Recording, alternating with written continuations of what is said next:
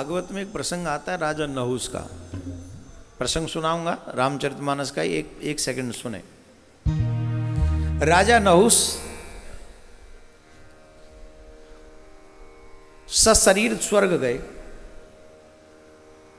और जब स्वर्ग गए तो स्वर्ग के देवताओं से उनका मिलन हो रहा था। लोग परिचय करवा रहे थे, जैसे कहीं जाओ तो इंट्रोड्यूस कराते हैं वैसे परिचय करवा रहे थे। ये इंद्र हैं, प्रणाम। ये अग्निदेव हैं, अरे महाराज, जय हो प्रणाम। ये वरुण देव हैं, जय हो महाराज। आपके बिना जीवन नहीं।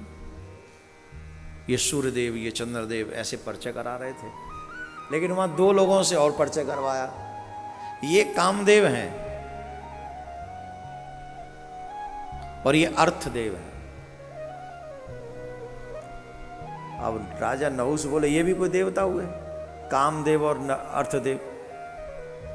ये कोई देव है? उनकी अवहेलना कर दी उन्होंने।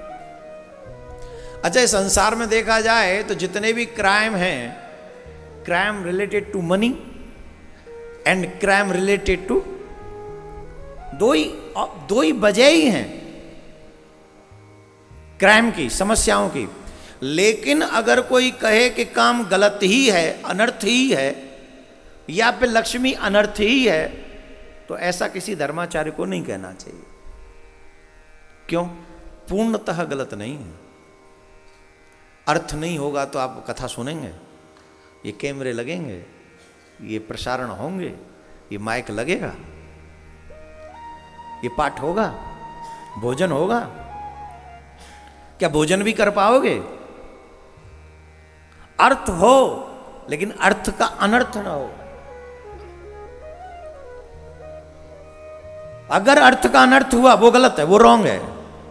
आप पैसा है मदिरा पान कर रहे हैं, गलत है। आप पैसा है, मंदिर जा रहे हैं, मंदिर बनवा रहे हैं, अच्छी बात है।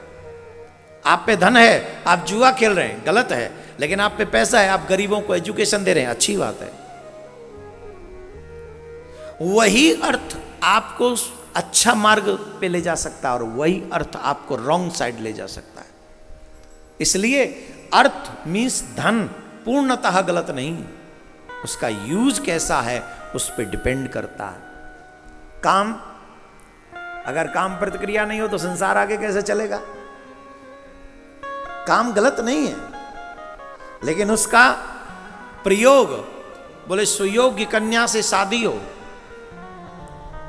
सजातीय कन्या से शादी हो, फिर एक बार ध्यान से सुने, सजातीय कन्या से ही शादी करें। अगर आप अपने पितरों का कल्याण चाहते हैं तो अपने पितरों की मुक्ति चाहते हैं तो। सजातीय कन्या से ही विवाह करें।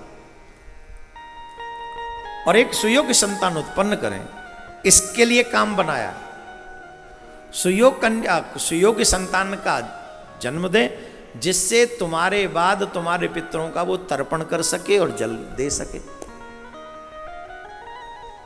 अगर हम कहें कि काम गलत है, अगर हम कहें कि अर्थ गलत है तो तो महाराज सृष्टि का प्रावधान ही बदल जाएगा, नियम ही बदल जाएगा, स्थिति ही बदल जाएगी।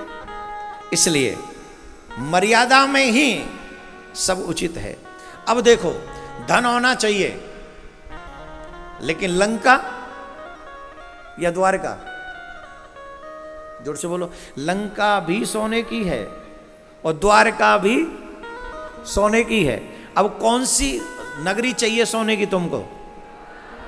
ज़ोर से बोलो। आज भी लोग जाते हैं, द्वारका में जाके सर झुका देते हैं, लेकिन लंका में एक बार हनुमान जी गए और जलाकर राख करके आ गए। अगर अधर्म से धन कमाओगे, अगर अधर्म से धन कमाओगे तो कोई अनुमान आएगा और तुम्हारी लंका को जला के राख कर देगा। परंतु अगर धर्म के पथ पर चल के धन धन कमाना गलत थोड़ी है। अरे अगर तुम धनवान बनोगे तो 400 लोगों को जॉब दे सकोगे। 400 परिवार पालेंगे तुम्हारे यहाँ से। बुरा नहीं है, लेकिन वो द्वारका हो, लंका ना हो। वो लंका नहीं होनी चाहिए। द्वारका होगी तो आदर के पात्र, क्योंकि हम सबका रोल मॉडल कौन है? रावण नहीं है। हम सबका रोल मॉडल द्वारका नाथ है, श्री कृष्ण है, गोविंद है। इसलिए धन कमाना को अब बहुत से लोग गालियाँ देते हैं। चार दिन पहले गरीब था, अब अमीर क्यों हो गया? अरे, भारत सरकार क्या कहती है? गरीबी मिटाओ, गरीबी कहती है ना, अगर दो चार आदमी गरीबी मिटा के आगे बढ़ गए तो तुम्हारी कीटाणु क्यों कौंध रहे भाई? तुम्हें क्या परेशानी हो रही है? या तो ये कहो कि कोई गरीब गरीबी से नहीं बाहर जाएगा। सबको कह दो, गरीबी से निकलना दंडनीय अपराध है, उसे सजा दो। किसी के भाग्य को ले जाओगे, किसी की मेहनत को ले जाओगे क्या? भगवान कर्म के अनुसार धन देता है, न समाज देता है, न कोई राज्य देता है, न कोई कानून देता है। भगवान ही कर्म के वसीभूत होकर अब उसका फल उसको देता है। हम लोग तो देखते हैं, कोई थोड़ा बहुत धनवान हो जाए तो उसके पीछे चार आदमी पड़ जाते हैं। अरे, भारत सरकार कहती है, भैया, गरीबी से गरीबी मिटाओ गरीबी मिटाओ, हैं? और कोई दो चारों की गरीबी मिट जाए तो उसे फिर वापस खींच के लाओ, फिर गरीब बनाओ, फिर गरीब बनाओ। ये कोई बात हुई? भगवान से प्रार्थना करो कि मेरे देश में कोई गरीब न रहे। सब पे अपने साधन हो, सब पे अपनी व्यवस्था हो, सब अपने चकाचक भगवान का भजन करें। सब इतने सामर्थ्यवान हो कि अपने द्वारा भगवान की कथा भागवत पंडालों में अपने अपने शहर अपने अपने गाँव में कराएँ।